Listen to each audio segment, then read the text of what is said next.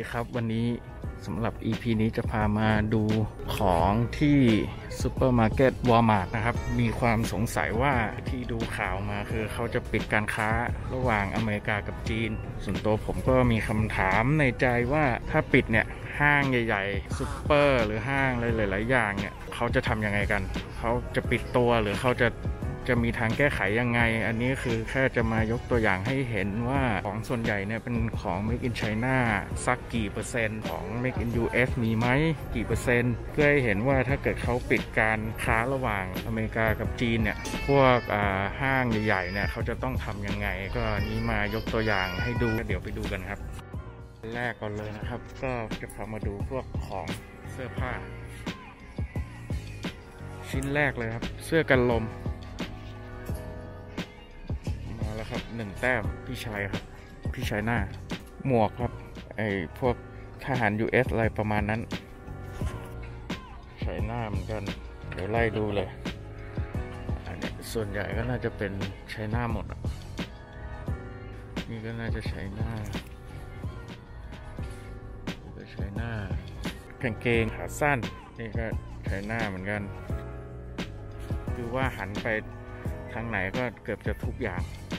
จับอะไรก็แทบจะใช้หน้าหมด ก็มีปนปนมีเวียดนามบ้าง นี่นี่ก็ถุงมือ ถุงมือช่าง Make in China เหมือนกัน กีเสื้อผ้ากางเกงเสื้อกางเกง แล้วก็มาโซนรองเท้าอันนี้ก่อนเลยรองเท้าทั่วไปรองเท้าผู้หญิง Make in China เหมือนกัน มือนกัน นี่ก็มาโซนเครื่องใช้ไฟฟ้า เครื่องใช้ไฟฟ้าทุกสิ่งทุกอย่าง ทีวีหูฟังคอมกล้อง เดี๋ยวลองไล่ดูเลย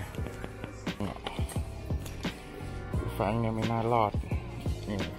ใช่เหมือนกัน อ่าหลอดไฟ ลำโพง เนี่ยลำโพงก็พี่ชัยอยู่แล้ว นี่ก็เครื่อง MP3 โหยังมีอยู่เลยเลิกไม่มีใครใช้แล้วตอนนี้ นี่ก็พี่ชัยแน่นอนชัยนาฬิกาเนี่ยนาฬิกาโซนี่นี่ก็พี่ชัยเหมือนกัน อันนี้กล้องพวกกล้อง Wi-Fi อ่า นี่ตัวใหญ่ ๆ เลย เป็นปุ่มปรับแอร์นี้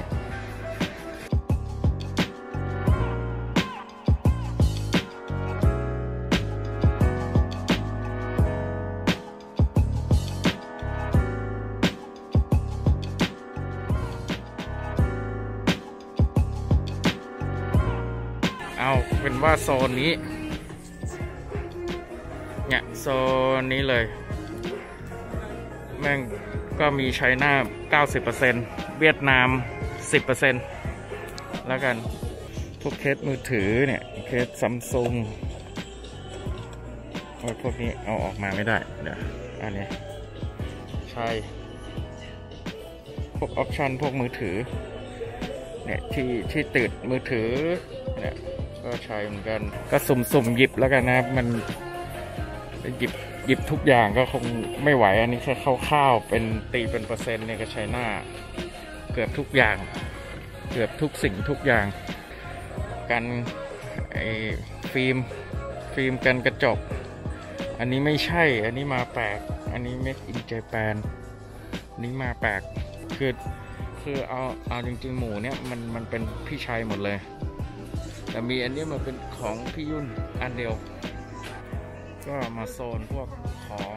ออฟฟิศออฟฟิศหน่อยปากกาเครื่องใช้ซองซองจดหมายอะไรอย่างนี้